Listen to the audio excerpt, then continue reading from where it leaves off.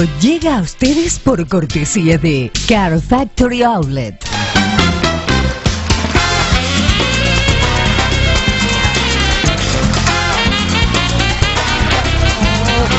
Y hoy festejamos la independencia de nuestros hermanos uruguayos con la visita de un músico conocido como el titán del violín. Nos honra con su visita hoy, ganador de cuatro premios Grammy.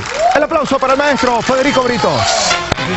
Maestro. Un gusto estar contigo. No, por favor, gracias por y acompañarnos. un gusto hoy. por la, la efeméride de Uruguay, ¿no? 183 aniversario Sí, ¿qué tal? ¿Qué de la significa para, declaratoria de la independencia. ¿qué significa para, para un uruguayo la celebración de este Bueno, día? mucho porque fue la declaratoria en un momento bastante difícil de la de la vida de, de los orientales, en aquel momento era la banda oriental, entre Brasil y Argentina, nuestros actuales hermanos. En aquella época había ciertas disputas, pero con la declaratoria de independencia se abrió el camino hacia la independencia, que hoy conmemoramos, es muy importante, 183 años. Hoy sigue habiendo algún tipo de disputa, ¿no? Sobre todo cuando hay un balón de fútbol de por medio. Eso siempre. Entre Brasil, Argentina y Uruguay, Eso- cuando hay un balón de fútbol de por medio Eso siempre. pero ahí hay una muy buena relación. Sin duda, digamos, sin duda, entre- muchos lazos, muchos y nexos. muchos lazos de culturales y naturalmente. Háblenos un poco de lo, lo- la- lo que vamos a escuchar ahora a nivel de, de música. Y le pregunto esto porque hace una o dos semanas tuvimos la visita de Rubén Rada. Gran y gran artista Gran artista Gran también. artista. Y estuvimos hablando acerca del candombe y el candombe.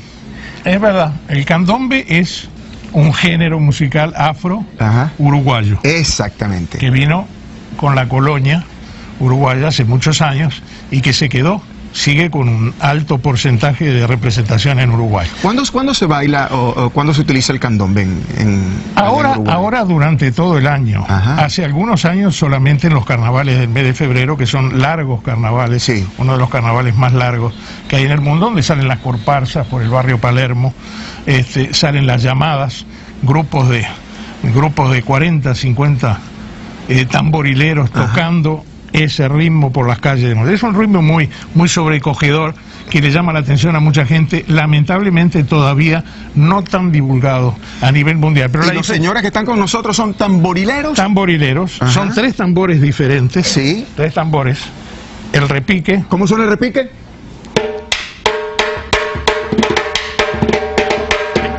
el chico,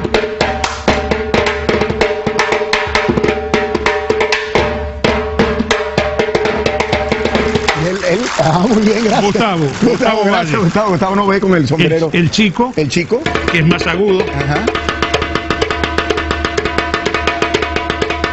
Y Ivanovich, el nombre de él es Ivanovich, y el piano, un poquito más grande, más grave. más grave.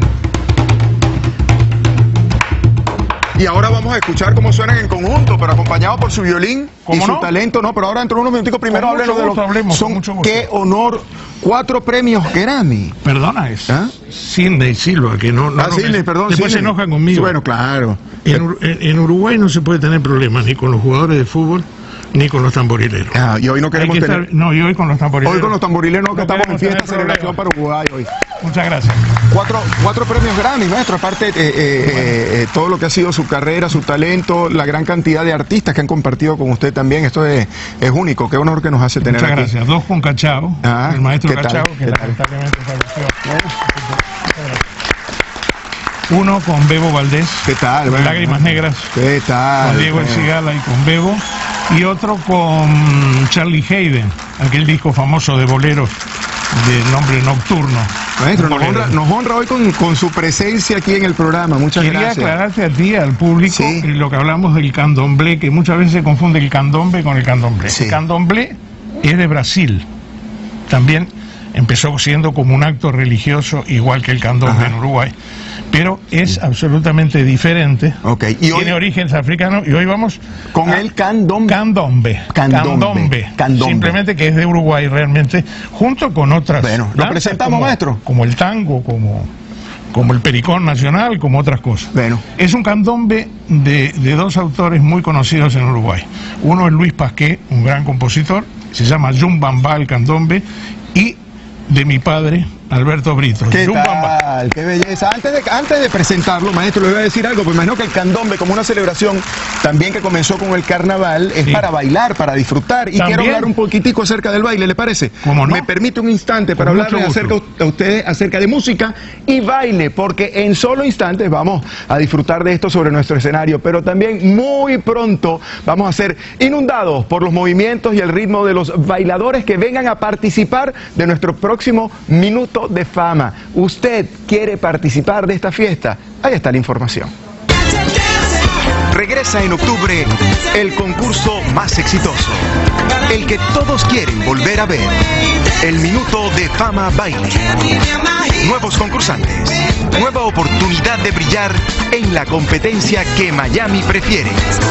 Siente el ritmo, la música, el entusiasmo. Trae tu pareja. Ven a ganar este Minuto de Fama Baile. Así es, ven para que participe en nuestro minuto de fama baile. ¿Qué te parece, señor Clorofilo? Tenemos al maestro Brito listo para festejar la independencia de Uruguay con un candombe. Pero les voy a decir algo, al regresar de la pausa comienzan las presentaciones en el minuto de fama Kids. Así que preste mucha atención a cada una de las pequeñas estrellas que debutan esta tarde para que después pueda participar con su voto con la elección y en la elección del ganador. Adelante con la música y la fiesta. Felicidades a nuestros hermanos uruguayos. Con ustedes el maestro uruguayo Federico Britos.